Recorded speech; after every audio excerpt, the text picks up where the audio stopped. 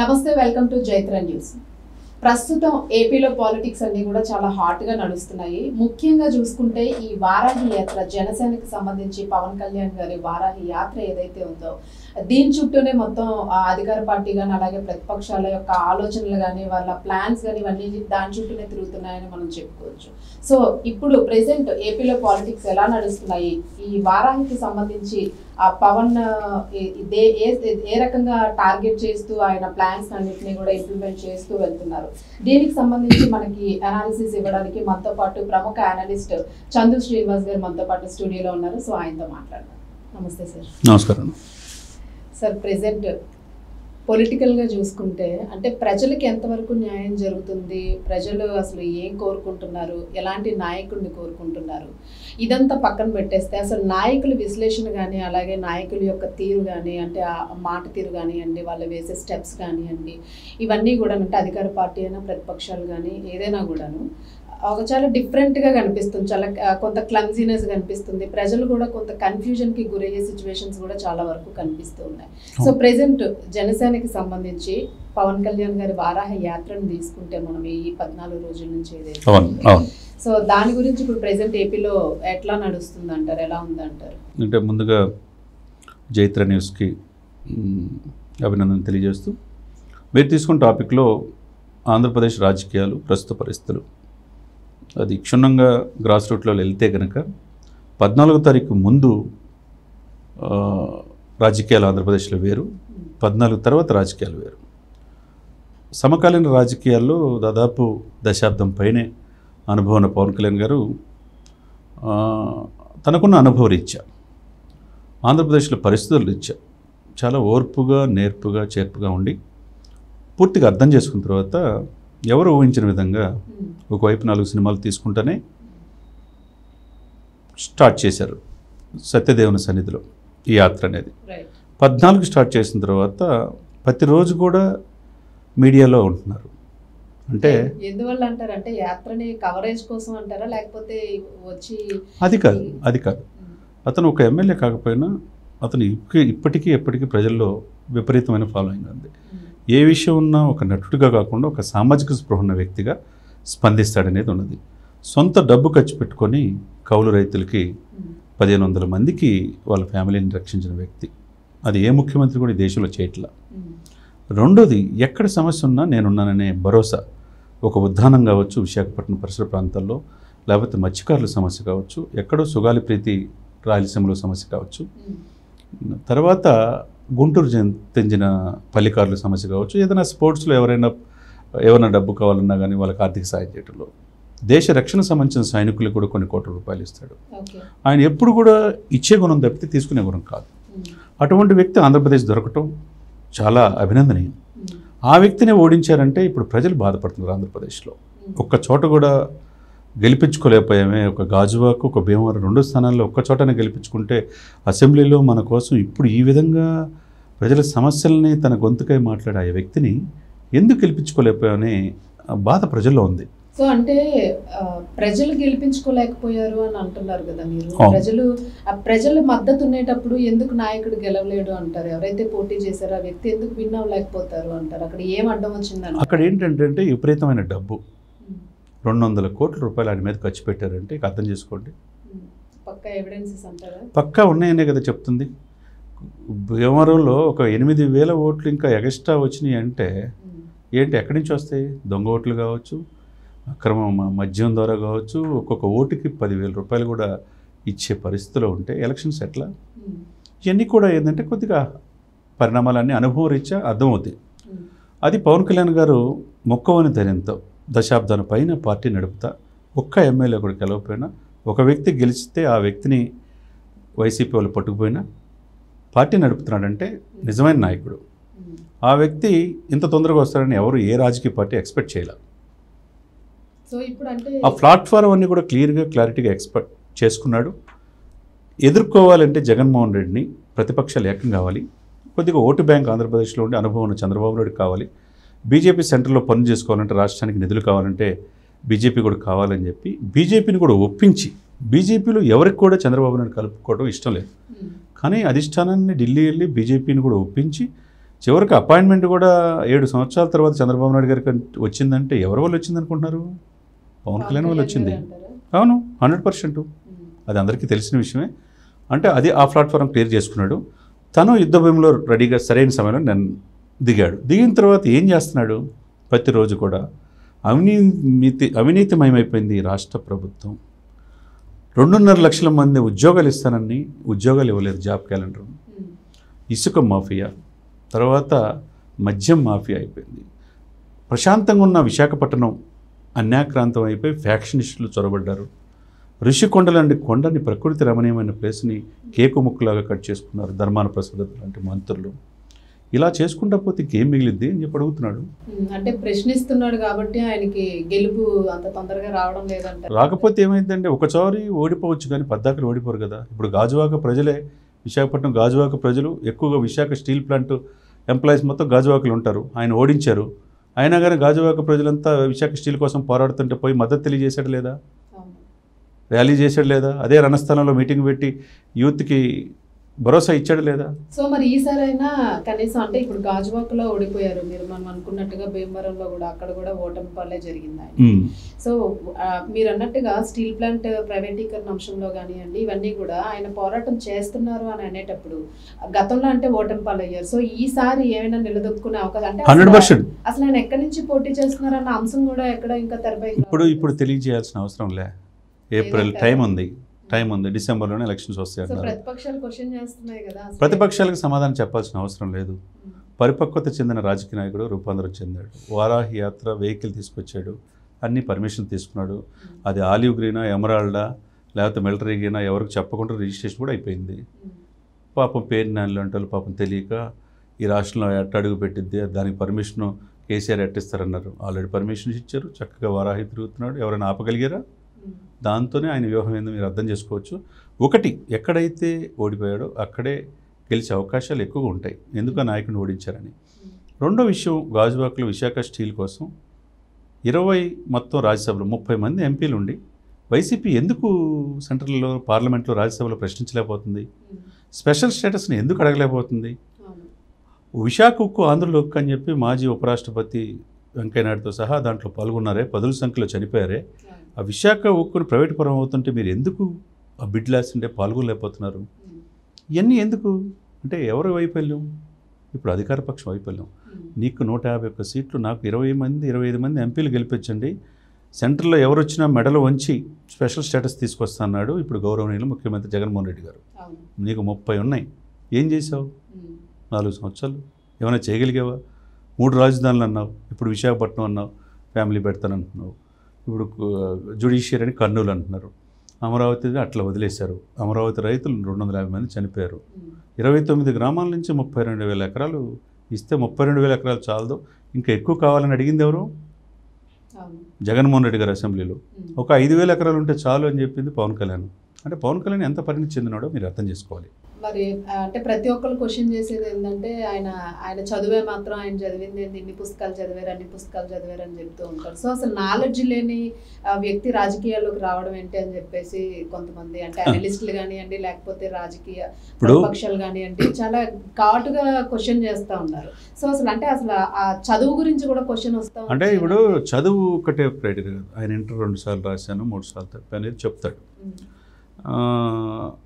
జీవితం పాఠాలు నేర్పిద్ది చదువు సంస్కారం. ఎస్ డెఫినెట్గా ఇప్పుడు ఏ పుస్తకాలు చదవకూడదా? ఇప్పుడు కేసీఆర్ గారు కూడా రెండు లక్షలు మూడు లక్షలు పుస్తకాలు చదివాను అంటాడు. ఆయన నాలెడ్జ్ లేదా? ఉంది. అంటే పుస్తకం చదివే పూర్తిగా చదువు ఒకటే అనుకుంటే ఎట్లా? ఆయన సమాజాన్ని చదివాడు. ఇంక అంతకంటే ఏం కావాలి? Hundred percent hundred percent. మీ దగ్గరికి ఇప్పుడు డిబేట్కి వచ్చానంటే నేను రోజు ఐదారు పేపర్లు చదువుతాను. సమకాలీన పరిస్థితులపైన ఒక అవగాహన చేసుకుంటే ఒక ఒక ఎనలిస్ట్గా రూపాంతరం చెందుతాడు. నేను నాలెడ్జ్ లేకుండా వస్తే మీ ప్రశ్నలకు నేను సమాధానం చెప్పగలనా? అటువంటిది సమకాలీన రాజకీయాల్లో పూర్తిగా వాళ్ళ అన్నగారి దగ్గర నేర్చుకున్నాడు కష్టమైన తెలుసుకున్నాడు. సినిమాలు ముప్పై సినిమాల లోపు తీసినా కానీ ప్రముఖ సినీ నటుడయ్యాడు. రెండు కోట్ల రూపాయలు ప్రతిరోజు తీసుకునే స్థాయికి ఎదిగాడంటే అతను ఏముందంటారు? కోర్స్ ఒక నటుడిగా ఆయన సక్సెస్ నటుడే సార్ కానీ మరి తాను మీరు మీరు నటుడు సక్సెస్ అంటున్నారు. ఎన్టీ రామారావు గారు నటుడే. ఆ తెలుగువారి ఆత్మగౌరవం అని చెప్పేసి నైన్టీన్ ఎయిటీ త్రీలో చైతన్య రథం ద్వారా ఎస్ చేశాడు. ఉమ్, మనం ఎందుకు ఆత్మగౌరవాన్ని కాపాడుకోలేమన్నారు? ఎన్టీ రామారావు సక్సెస్ అయ్యడం లేదా? అంటే ఎన్టీ రామారావు గారికి అప్పుడున్న ఫాలోయింగ్ ఇంత మీడియా లేదు. అంతకు మించి ఇప్పుడు ప్రజలు ఆయనకు వస్తున్నారు అంటే ఉమ్, ఎందుకు వస్తున్నారు ప్రజలు? ప్రజలు ఏమైనా అమాయకుల? గతంలో జరిగిన పొరపాట్లు ఇప్పుడు జరగవు. ప్రజల్లో చాలా అవేర్నెస్ ఉంది. దానికంటే మరణం కోట్లాది మంది అభిమానులే కాకుండా నిరంతరం పది సంవత్సరాలు ప్రజల్లో ఉన్నాడు. నా సమస్యలు మా సమస్యల్ని మొక్కవన ధైర్యంతో ఎదుర్కొంటున్నారని చెప్పేసి ఒక మత్స్యకారులు కావచ్చు ఒక బీసీ కులాలు కావచ్చు ఒక దళితులు కావచ్చు ఒక కాపులు కావచ్చు అందరూ కూడా వెహికల్తో ఎదురు చూస్తున్నాడు. సమకాలీన పరిస్థితులు పూర్తి రాజకీయాలు అవగాహన చేసుకున్నాడు. Aggressive politics.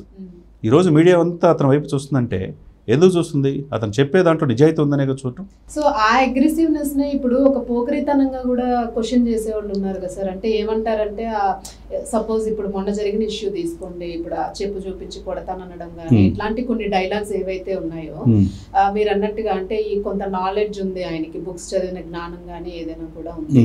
సో దాన్ని ఒక అంటే ఒక రౌడీయిజం లాగా క్వశ్చన్ చేస్తూ వస్తున్నారు చాలా మంది మీరు అనుకుంటున్నారు. ఓకే? ఓకే మేడం మీరు మీరు వాళ్ళ చెప్పిన మాటల్ని నన్ను అడుగుతున్నారు. సరే. అదే పవన్ కళ్యాణ్ రాజకీయాల్లో వస్తే వాళ్ళ అమ్మల్ని వాళ్ళ ఫ్యామిలీని వాళ్ళ పాపని అని రాని మాటలన్నారు వాళ్ళకి మీరు ఏం సమాధానం చెప్తారు? ఇదే ప్రెస్ క్లబ్లో ఒక పోసాని కృష్ణమురళి అని ఒక సామాన్య నటుడు నేను వైఎస్ఆర్సీపీ ప్రభుత్వం కలిపి తిట్టించింది పవన్ కళ్యాణ్ రాజకీయాలకు వస్తే. ఎక్కడైనా ఒక మాట అన్నాడా? రెండు. అతను ఎప్పుడు మూడు పెళ్ళిళ్ళు నాలుగు పెళ్ళిళ్ళు అంటున్నారు. ఆ మూడు పెళ్ళిళ్ళు చేసుకున్న వాళ్ళు ఎవరైనా వచ్చి నీ మీద నీ దగ్గరికి వచ్చి జగన్మోహన్ రెడ్డి గారి దగ్గరకో లేకపోతే చంద్రశేఖర్ రెడ్డి ఎవరో ఉన్నాడు కదండి. రెండు రోజుల నుంచి విమర్శిస్తున్నారు. పవన్ కళ్యాణ్ కాకినాడ ద్వారంపూడి చంద్రశేఖర్ రెడ్డి దగ్గరికి వచ్చి ఈ ఎవరైతే పవన్ కళ్యాణ్ గారు చేసుకున్న భార్యలు వచ్చి అయ్యా మాకు అన్యాయం చేశాడు పవన్ గారు అని చెప్పి వీళ్ళకి ఏమన్నా అడిగారా? ఎవరైనా ఒకళ్ళు ఇప్పుడు కుటుంబం అనే కాదు. కుటుంబంలోకి వెళ్ళిపోయారు. పవన్ విమర్శించారు. ఇదే దూరంపూడి రెండున్నర సంవత్సరాల క్రితం ఎక్కడో ఢిల్లీలో ఉంటే ఆయన్ని లకారంతో తల్లుల్ని తండ్రుల్ని తిట్టిన మాట వాస్తవం కాదా? అప్పుడు ఎందుకు ఖండించలేదు జగన్మోహన్ రెడ్డి గారు? ఈ సోకాళ్ళు ముద్రగడ పద్మనాభం ఎందుకు ఖండించలేదు? అంటే ఇతన్ని నీ కులంవాడు నీ కులంవాడు అని చెప్పే వ్యక్తిని చిరంజీవి నువ్వు సపోర్ట్ చేయవు. నీ కులంవాడు తెలిసిన పవన్ కళ్యాణ్ని సపోర్ట్ చేయలేవు. పవన్ కళ్యాణ్ అమ్మనాభూతులు తిడుతుంటే దూరంపూడిని వెనకేసుకొస్తున్నావా ఇప్పుడు? దూరంపూడిని అన అన్నంత మాత్రాన ఇతనేమన్నా తెలియనివాడా? చాలా పరిణితి చెందిన వ్యక్తి. అప్పటి నుంచి ఏం అనలేదే. కానీ జనసేన కార్యకర్తలు మహిళలు వెళ్తే వాళ్ళని కొట్టి కేసులు పెట్టడం ఎంతవరకు సమంజసం అని ప్రశ్నించాడు. నీకు ఏమైంది? యాభై ఆరు వేల మెట్రిక్ టన్నుల రైసు కాకినాడ పోర్ట్ నుంచి బంగ్లాదేశ్ ఇతర దేశాలు వెళ్ళిపోతుంది అంటున్నాడు. పేదవాళ్ళకి ఇచ్చే రూపాయి కిలో బియ్యాన్ని రీసైక్లింగ్ చేసి పన్నెండు రూపాయల లెక్కన ఇతర దేశాలకు అమ్ముకొని పదిహేను వేల కోట్లు సంపాదించారన్నారు. దానికి- దానికి దానికి దానికి సమాధానం చెప్పాల్సిన బాధ్యత ఉందా లేదా? లేకపోతే ఎక్కడ ఏఓబి నుంచి అక్రమంగా గంజాయి డ్రగ్స్ డెన్గా కాకినాడ రూపాంతరం చెందినారు దానికి సమాధానం చెప్పాల్సిన అవసరం ఇతనికి ఉందా లేదా దూరంపూడికి దూరంపూడిని సమర్థించే ముద్రగడకు ఉందా లేదా? ఉంది కదా? మూడోది ఎక్కడ స్థలం కనపడితే ఆక్రమించుకొని యాభై మంది రౌడీలు నెంబర్ ప్లేట్లు కూడా లేకుండా కాకినాడ మొత్తం ప్రశాంతమైన కాకినాడ రిటైర్మెంట్ ఎంప్లాయీస్ అంతా కూడా కాకినాడ నివసిస్తారు. హెవెన్ అంటారు ఆ ప్లేస్ని దాన్ని మొత్తం అన్యాక్రాంతం చేసుకుంటే ఇది ఇది కరెక్టేనా? అంటే మీ నాన్న వీరభద్రారెడ్డి గారు సివిల్ సప్లై చైర్మన్ ఆంధ్రప్రదేశ్కి మీ తమ్ముడేమో రైస్ మిల్లర్స్ అసోసియేషన్ అధ్యక్షుడు మీ తాత చరిత్రని డిటి నాయకున్నప్పుడు ఏం జరిగిందో చెప్పాడు. ఇప్పుడు నువ్వు చేసే అరాచకాలు బెట్టింగు ఎన్ని రకాల ఆరోపణలు ఒక ఎమ్మెల్యేగా ఉభయ గోదావరి జిల్లాలకి ఇతన్ని సీఎం ఎవరంటే దూరంపూడి అంటారంట. సో మీరు ఇంత ఓపెన్గా చెప్తున్నారు కదా. సార్ అరాచకాలు అవును. జరుగుతున్నాయని చాలా ఓపెన్ గానే అవును. చెప్తున్నారు so you have a proofs or evidences ఎవరికి చూపించాలి? ఎవరికి చూపించాలని అంటే ఇప్పుడు మీరు క్వశ్చన్ చేసేది ఇప్పుడు పవన్ కళ్యాణ్ గారు Yes, పవన్ కళ్యాణ్ అన్ని ఆధారాలతో. ఆయన ఒక్కరే క్వశ్చన్ చేస్తున్నారు మిగిలిన వాళ్ళు ఎందుకు క్వశ్చన్ చేయలేకపోయారంట? ఆయన గట్స్ ఉండే కాబట్టి సమకాలీన పరిస్థితులపై రాజకీయాలపై పూర్తిగా అవగాహన ఉన్నాడు కాబట్టి అన్ని తెలుసుకున్నాడు కాబట్టి అన్ని ఆధారాలతో సహా చెప్పాడు. అంతే అంటారా? ఇప్పటి వరకు ఈ విషయాలు ఏమి బయటకు రాకపోవడం వల్ల ఎవరు అడగలేకపోయారు? లేదు దమ్ము ధైర్యం లేక ఏ పార్టీ వాళ్ళు కూడా ప్రశ్నించలేదు. ఇతను ఏమి జైలుకి వచ్చిన జీవితం కాదు. ఇతను ఏ కేసులో అరెస్ట్ కాలేదు. ఏ ఈడీ ఇతని మీద దాడి జరగలేదు. ఎవరు కూడా ఒకరు ఆరోపణ చేయలేదు. సచ్చీలుడు ఈ రాజకీయాలకి. ఈ రాజకీయాలు ఆంధ్రప్రదేశ్ రాజకీయాలు మార్చడానికి వచ్చానన్నాడు. సరైన నన్ను ముఖ్యమంత్రి చేయండి. నాతో పాటు నా నేను నిలబెట్టిన వాళ్ళని ఎమ్మెల్యేలు చేయండి. నేను పరిపాలన ఏంటో చూపిస్తానన్నాడు. వైసీపీ రహిత ప్రభుత్వం కావాలంటున్నాడు. సరే మేడం ఇన్ని చెప్పారు. ఈరోజు పేపర్లో ప్రధాన పేపర్లో రెండు పేపర్లో రెండు పేజీలు ఆర్టికల్ వేశారు. ఆయన ఇంటర్వ్యూ వేశాడు. చూడండి. ఏం రాశారు దాంట్లో? రెండు వేల కంపెనీలు ఐటీ కంపెనీలు బెంగళూరులో ఉంటే హైదరాబాద్లో పదిహేను వందల కంపెనీలు ఉంటే పట్టుమని పది కూడా ఆంధ్రప్రదేశ్లో లేవు ఉన్నాయి కూడా వెళ్ళిపోయినాయి అన్నాడు. దానికి సమాధానం ఎవరు చెప్తారు? ఈ సోకాళ్ళు విమర్శించే వాళ్ళు పవన్ విమర్శించే వాళ్ళు చెప్తారా? చెప్పమనండి. అంటే మీరు అన్నట్టుగా పవన్ ఒకవేళ ఇంకేజ్ అంటే రాబోయే రోజుల్లో అసెంబ్లీలో పక్కాగా అడుగు పెట్టి తీరుతానని లేదంటే ముఖ్యమంత్రిని అవుతానని కానీ ఇప్పుడు ఆయన అన్నారు. ఆయన కానీ ఆయన ఫ్యాన్స్ కానివ్వండి ఆయనకున్న మద్దతు కానివ్వండి. చెప్తున్నారు ఏదైతే. ఒకవేళ నిజంగా అదే జరిగితే నిజంగానే విశాఖని ఇప్పుడు ఏవైతే ఇప్పుడు అమరావతి ఇష్యూస్ కానివ్వండి లేకపోతే మీరు అన్నట్టుగా ఐటీ కంపెనీస్ గురించి అన్నారు. మీరు. సో ఇవన్నీ డెవలప్ అయిపోతాయి హండ్రెడ్ పర్సెంట్ అవుతాయి. మోడీ గారు పవన్ గారు చెప్పినట్టు వింటాడు. ఎవరూ ఐడెంటిఫై చేయనప్పుడే ఆరు సంవత్సరాల క్రితమే ఆరు కాదు ఇంకా ముందే గుజరాత్లో ముఖ్యమంత్రిగా మోడీ ఉన్నప్పుడు పోయి ఈ దేశానికి మీరు ముఖ్య ప్రధానమంత్రి కావాలని చెప్పి అతనికి మద్దతు తెలియజేసి అతనితో దక్షిణ భారతదేశం మొత్తం అతనితో హెలికాప్టర్ తిరిగినాడు పవన్ కళ్యాణ్. అతనే కావాలంటే ఆ రోజు సెంట్రల్ మినిస్టర్ అయ్యేవాడు. తర్వాత రెండు వేల పద్నాలుగు తీసుకోండి. అనుభవం వల్ల వ్యక్తి ఈ ఈ రాష్ట్రానికి ముఖ్యమంత్రి కావాలని చంద్రబాబు నాయుడు ముఖ్యమంత్రి చేసింది ఎవరు? పవన్ కళ్యాణ్ కాదా? మరి మరి ఆ- ఇది చంద్రబాబు నాయుడు గుర్తుందా? రెండు వేల పంతొమ్మిదిలో గాజువాక భీమవరంలో పోటీ చేస్తే బలమైన అభ్యర్థులు పెట్టి ఓడించింది కూడా చంద్రబాబు నాయుడుగా మరి ఎందుకు ఇప్పుడు పొత్తుకి ఎందుకు వెళ్తున్నారు సార్? ఇప్పుడున్న మీరు ఇప్పుడు ఇప్పుడు ప్రశ్న? ఇప్పుడు ఎందుకు వచ్చిందంటే. ఇప్పుడు ఎందుకు వచ్చింది? తెలుసుకున్నారు ఎవరికొకరు రియలైజ్ అయ్యారు. ఎవరు ఈ రాష్ట్రానికి కావాలని అర్థం చేసుకున్నారు? పవన్ కళ్యాణ్ చరిష్మా ఏందో కూడా తెలుసుకున్నారు. కాబట్టి కలిసి పోటీ చేద్దామని చెప్పి చంద్రబాబు నాయుడు కోరుకుంటున్నాడు. కలిసి పోటీ చేస్తే జగన్ ఎదుర్కోగలం. మంచి పరిపాలన కావాలంటున్నారు. ఈ రోజు ఇంటర్లో కూడా ఈనాడు పేపర్లో చదవండి లేకపోతే జ్యోతిలో చదవండి. సో పవన్ గారు ఇప్పుడు ఎలా నమ్ముతున్నారు అంటారు చంద్రబాబు అంటే అప్పుడు అంత ఇష్యూ జరిగినప్పుడు సో నమ్మకం ఎట్లా వస్తుంది? ఆయనకి ఆటోమేటిక్ అంటే అంత ఈజీ అంశం కూడా కాదు ఒకటి. అనుభవం జీవితంలో పాఠాలు నేర్పిద్ది. నేను ఎక్కడైతే పుట్టానో ఈస్ట్ వెస్ట్ గోదావరి జిల్లాలో నా సమాజ వర్గం ఎక్కువ ఉండొచ్చు మిగతా కులాలు కూడా నాకున్నాయి నా అభిమానులు ఉన్నారని ముప్పై నాలుగు నియోజకవర్గాల మీద కాన్సన్ట్రేషన్ చేశాడు. ఈ ప్రభావం రాయలసీమలో ఉత్తరాంధ్రలో కూడా ఉంటుంది. నో డౌట్ ఎట్ ఆల్ ముప్పై నాలుగు సీట్లు ఆయన పోటీ చేయమనండి. ఇరవై ఐదు పైన గెలుస్తాడు పెద్ద సమస్య కాదు. అవును నా ఎంటలేదు ఒక్క ఒక్క ఒక్క సీటు కూడా వైసీపీని గెలిపించొద్దు అంటున్నాడు. ఇప్పుడు నూట డెబ్బై ఐదు నాకు కావాలని చెప్పి జగన్మోహన్ రెడ్డి అనుకోవటం Why not 175 ఆ- ఆ- ఆయనకు ఆశ ఉండొచ్చు. అట్లనే పవన్ కళ్యాణ్ కూడా ఉండొచ్చు కదా. నూట యాభైకి గెలిచిన వాళ్ళు ఇప్పుడు చాలామంది ఆంధ్రప్రదేశ్లో ఎందుకు వేసామని బాధపడుతున్నారు అనేది పవన్ యొక్క ఆరోపణ. ఇప్పుడు క్లియర్ క్లారిటీ అండి. ము పద్దెనిమిది శాతం ఓట్లు తగ్గిపోతాయి అని అంటున్నాడు పవన్ కళ్యాణ్. నన్ను పరిపాలించేవాడు నాకంటే నిజాయితీపరుడై ఉండాలంటున్నాడు. ఆ- ప్రశ్న సమాధానం చెప్పాలి కదా. ఇప్పుడు. వైఎస్ వివేకానంద రెడ్డిని హత్య చేసిన వాళ్ళే నా మీద నన్ను చంపడానికి సుపారీ తీసుకొని తిరుగుతున్నాడు నాకు స్పష్టమైన ఆధారాలు ఉన్నాయన్నారు. అతనికి ఏమన్నా జరగడానికి జరిగితే అతని మీద దాడి జరిగినా ఏం జరిగినా ఇప్పుడు గౌరవనీయ ముఖ్యమంత్రి జగన్మోహన్ రెడ్డి గారే బాధ్యత వహించాలి. Hundred percent. అంతే కదా. వాస్తవమే. వాస్తవమే. వాస్తవమే. వాస్తవమే? ఆయన సమయం వచ్చినప్పుడు ఇన్ని ఇన్ని. రోజులు అడిగటం కాదండి. రెండు వేల పంతొమ్మిది నుంచి రెండు వేల పంతొమ్మిదిలో కూడా ఈ ప్రయత్నం జరిగింది. ఇప్పుడు కూడా సుఫారీ గ్యాంగులు తిరుగుతున్నాయని. ఈనాడు ఈరోజు పేపర్ చదవండి. స్పష్టంగా ఉంది. కాబట్టి ఇప్పుడు బడుగు బలహీన వర్గాలు కూడా చాలా దయనీయ పరిస్థితులు ఆంధ్రప్రదేశ్లో ఉన్నారు. ఒక ఆటో వాడికి పదివేల రూపాయలు వేస్తే వాడికి ఫైన్స్ కట్టలేక చలానాలు కట్టలేక చాలా బాధపడుతున్నారు అంటారు ఉమ్, కరెంటు కూడా లేని పరిస్థితిలో ఉన్నది. మధ్యతరగతి ప్రజలు బాధపడుతున్నారు. దీని సమస్యను రెక్టిఫై చేసేది ఎవరు?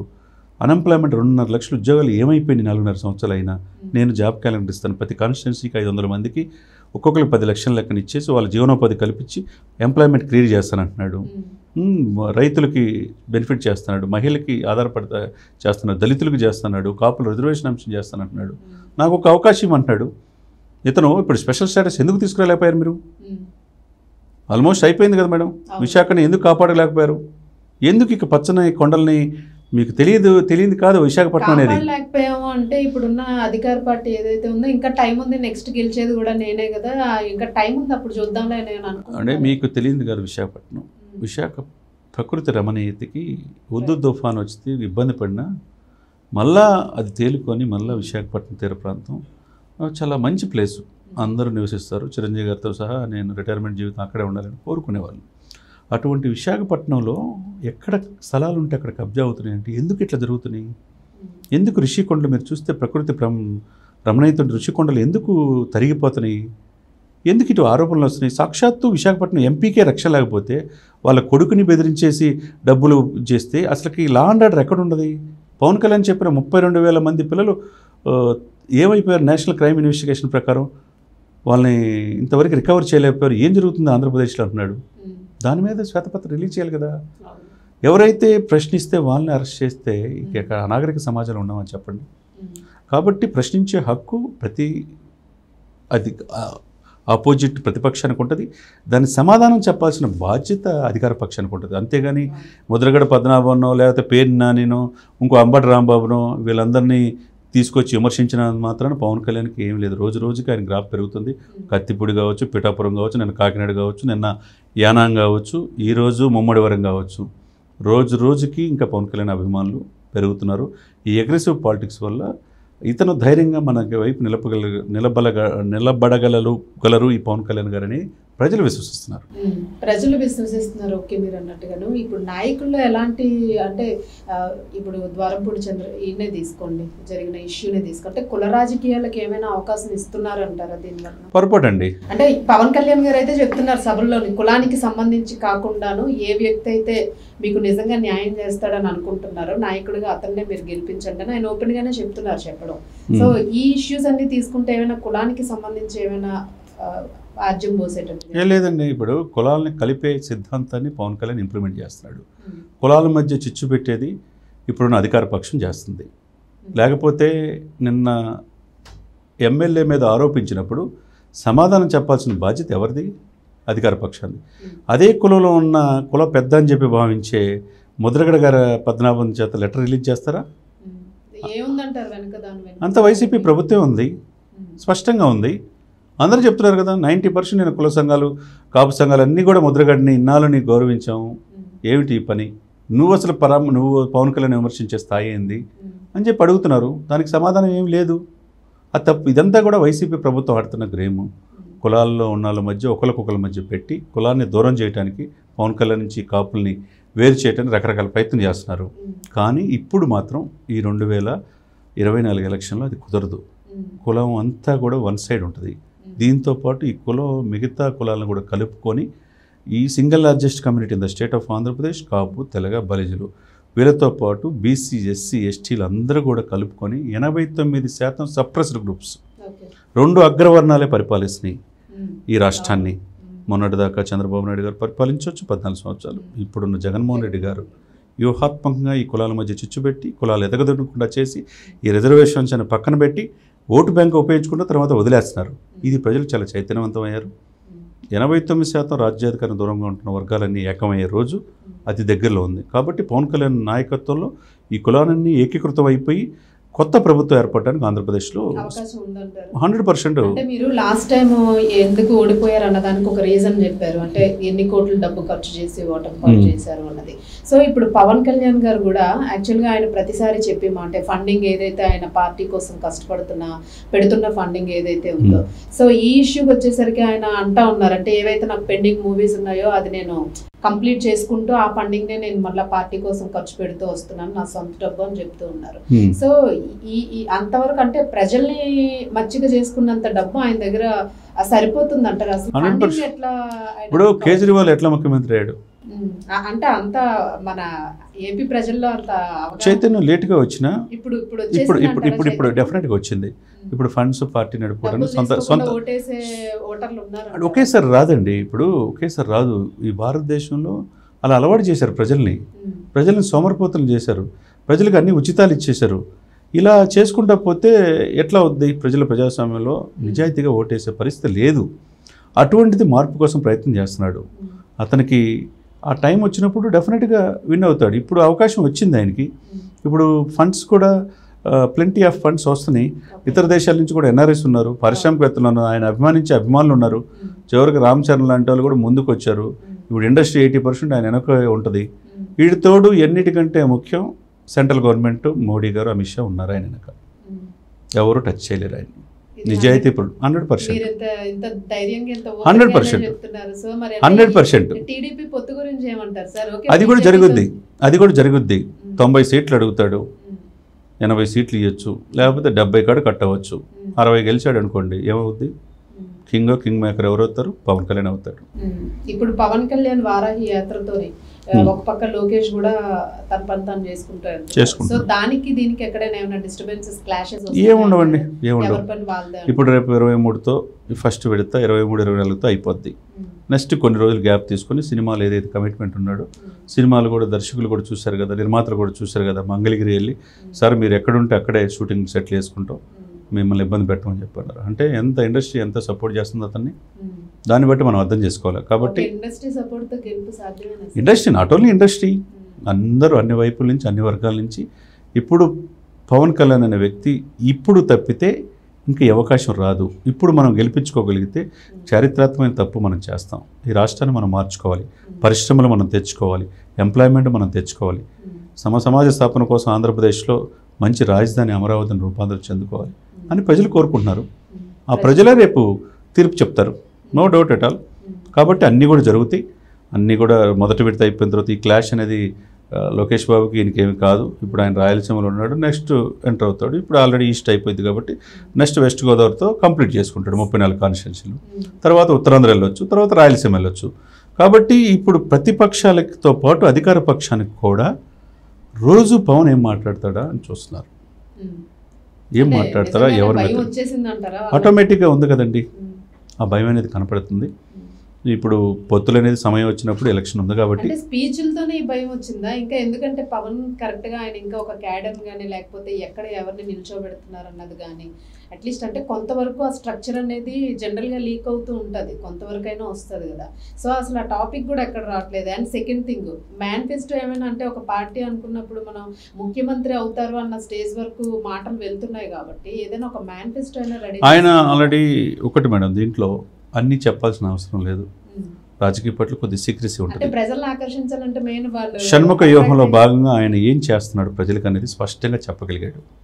ప్రజలను ఏ విధంగా కలుపుతాను ఏ విధంగా ఎవరికి చేస్తాను మ్యారేజ్ ఉమెన్కి నేనేమి చేయగలను లేకపోతే రైతులకి ఏమి చేయగలను ఈ ఎంప్లాయ్మెంట్ ఏ విధంగా కొన్ని లక్షల మందికి నేను ఎట్లా తీసుకురాగలను అని చాలా చక్కగా షణ్ముఖ యోగంలో భాగంగా చెప్తున్నాడు. ఒక్కొక్కటి చెప్పుకొస్తాడు. ఒక్కొక్క కాన్స్టిట్యూన్సీలో ఒక్కొక్క ఇది చెప్తాడు. అన్నీ ఒకేసారి చెప్పాలంటే చెప్పాల్సిన అవసరం లేదు కదా.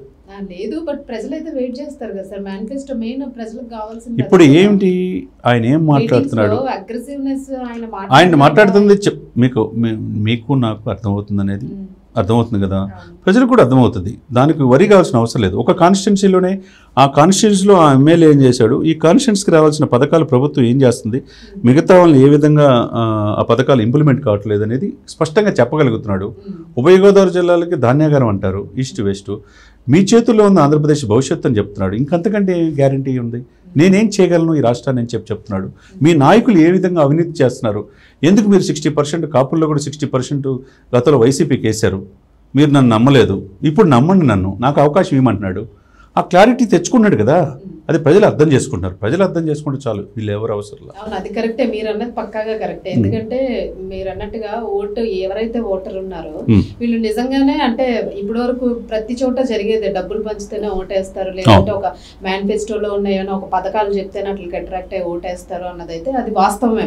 ప్రజలది కూడా ఒక ఎంత తప్పు ఉందని అనుకోవచ్చు సో అలాంటివి ఏమీ లేకుండా ఉట్టి మనం నిజంగానే మనిషి ఎలా బ్రతకాలి ఒక మనిషికి ఏం కావాలి అనే కొన్ని సిద్ధాంతాలతోనే పవన్ కళ్యాణ్ గారు మీటింగుల్లో చెప్పడం కానివ్వండి వాళ్ళని ఉత్సాహపరచడం ఇవ్వడం కానివ్వండి ఇవన్నీ చేస్తున్నారు. సో వీటితోనే నిజంగానే విజయం సాధించవచ్చు హండ్రెడ్ పర్సెంట్ అండి. ఇప్పుడు ప్రతి. నియోజకవర్గాన్ని రెండు రోజులు పెట్టుకున్నాడండి. ఆ ఒక రోజు మాత్రం పూర్తిగా గ్రాస్ రూట్ లెవెల్లో జనవాణి ద్వారా సమస్యలు తెలుసుకుంటున్నాడు. ఆ సమస్యలు ఏ విధంగా సమస్యలు ఉన్నాయి? ఏ ఎవరికి మత్స్యకాడికి ఏమైనా సమస్యలు ఉన్నాయా? లేకపోతే ఎవరికన్నా పథకాలు అందట్లేదా? మహిళలు ఏదైనా సమస్యలు ఎదుర్కొంటున్నాడా? అని చే క్లారిటీగా గ్రాస్ రూట్లో వాళ్ళ రిప్రజెంటేషన్ తీసుకుంటున్నాడు. ఒక టీం పనిచేస్తుంది దానికోసం. నేను వస్తే ఏం చేయగలను? అనేది. అన్ని కులాలని. అదే కదా కులాలు కలిపే సిద్ధాంతాన్ని ఆయన ఇంప్లిమెంట్ చేస్తున్నాడు. కులాలని మీరు విభజించి పాలించొద్దు. ఇవన్నీ కూడా అధికార పార్టీ చేస్తుంది. మిమ్మల్ని మీ మీద ఎక్కి మీ సవారీ చేస్తున్నారు. మీకు రావాల్సిన పథకాలు తీసేస్తుంటే మీరు ఏం చేస్తున్నారు? ఎక్కడో దళితుడు అనంతబాబు అనే వ్యక్తి ఒక ఎమ్మెల్సీ ఒక దళితుడిని డ్రైవర్ని చంపి తీసుకొచ్చి ఇంటికొచ్చి కారులో దిగి ఇంత అరాచకమైన పాలన ఏంటి ఇది? ఎక్కడో వెంకటేశ్వర రెడ్డి అనే వ్యక్తి ఒక చిన్న పిల్లాడిని పన్నెండు సంవత్సరాలు వాళ్ళ అక్కని వేధిస్తున్నారంటే అతని సజీవదానం చేశారు బాపట్లలో. ఇలాంటి పరిపాలన మనకు కావాల్సింది అని చెప్పి ఎవిడెన్స్తో సార్ చూపిస్తున్నాడు. ఇంకేం కావాలి ప్రజలకి సాక్ష్యాలు? ఈ పరిపాలన కాదు మనం కోరుకున్నది. సుపరిపాలన కావాలి. ఆంధ్రప్రదేశ్ ఈ భారతదేశంలోనే ప్రథమ పొజిషన్లో నేను తీసుకొస్తాను. నాకు ఒక అవసర అవకాశం ఇవ్వండి.